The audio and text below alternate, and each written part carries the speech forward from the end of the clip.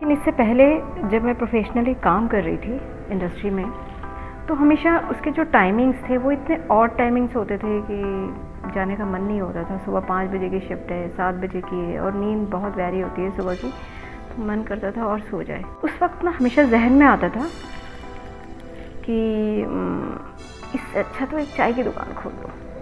करीब डेढ़ दो साल पहले जो अभी मेरे पार्टनर हैं गगन, उनके साथ ऐसे बातचीत के दौरान चाशा के चाशा के बारे में बात हुई। एग्जैक्टली exactly, चाशा नहीं उन, उन्होंने एक आइडिया थ्रो किया कि हर शहर में चाय की एक आ, बड़ी नोन सी जगह होती है जहाँ पे लोग फ्रीली बैठ के गपशप करते हैं और चाय पीते हैं। तो जलंधर शहर में ऐसा कुछ भी नहीं है।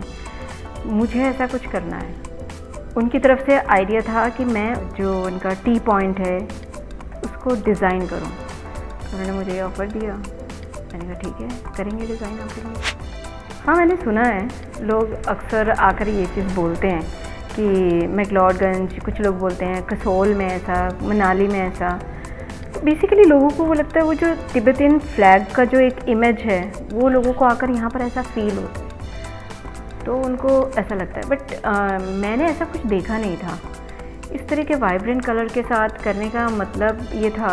हमेशा से ना मुझे बहुत बोरिंग लगता है रेस्टोरेंट में गए, वहाँ पे डार्क लाइट और सब कुछ brown brown brown walls brown sofas हर एक चीज़ डार्क शेड में। तो मुझे ऐसा लगता था कि उसके अंदर ना कुछ लाइफ नहीं है। कलर्स जो हैं as a as an artist मुझे हमेशा कलर्स जो है वो बहुत अट्रैक्ट करते हैं, बहुत फैसिनेट करते हैं।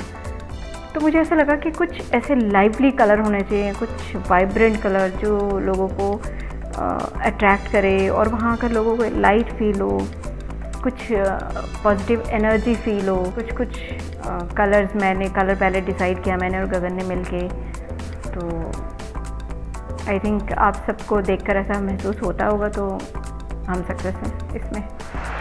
ओके इन कोट्स के बारे में आप जानना चाहते हैं। एक्चुअली जब हम डिज़ाइनिंग कर रहे थे तो उस वक्त सारी फैमिली इन्वॉल्व थी। सब अपना अपना कुछ ना कुछ इनपुट्स दे रहे थे इसमें। तो हमने शुरू में तो ऐसे ही लिया। सारे फैमिली मेंबर्स के अपने अपने आ, कुछ कुछ आइडियाज़ थे उनको हम लोगों ने प्रिंट किया। फिर बाद में गगन ये सारी चीज़ें ढूंढ ढूंढ के लेकर आए। उन्हें जहाँ जो अच्छा लगा उस चीज़ को देख के वो और ये कोर्स एक्चुअली बहुत ही मज़ेदार है।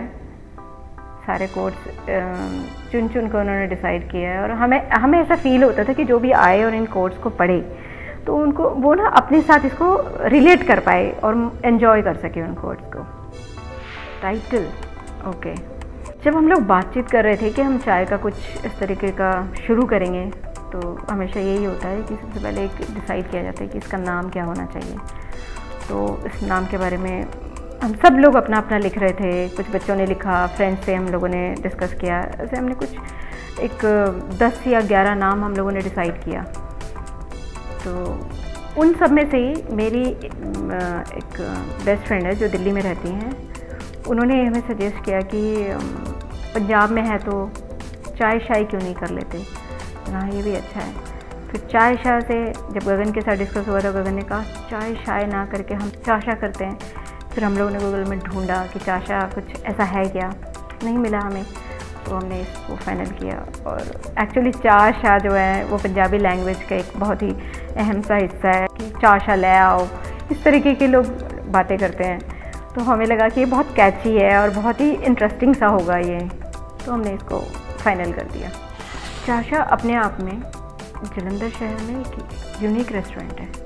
इस तरह का रेस्टोरेंट आप मुझे नहीं लगता आज भी आपको देखने को मिल सकता है। जब हमने इसको तैयार किया था, हमें खुद भी नहीं पता था कि ये इतनी जल्दी पॉपुलर हो जाएगा। अभी जलंधर शहर में, जलंधर से बाहर इवन अमृतसर, लुधियाना, आसपास, चंडीगढ़ तक लोग चाशा के बारे में जानते हैं बिकॉज़ ऑफ़ इट्स यूनिकनेस वो हमारी चाय के साथ बहुत तरह की चाय हम देते हैं जो आपको एक ही जगह मिलती है। उस चाय के अलावा जो यहाँ का एटमॉस्फेयर एम्बियंस वो मेरे मायने में it's it's unique for everyone तो लोग आते हैं यहाँ पे, बहुत इन्जॉय करते हैं।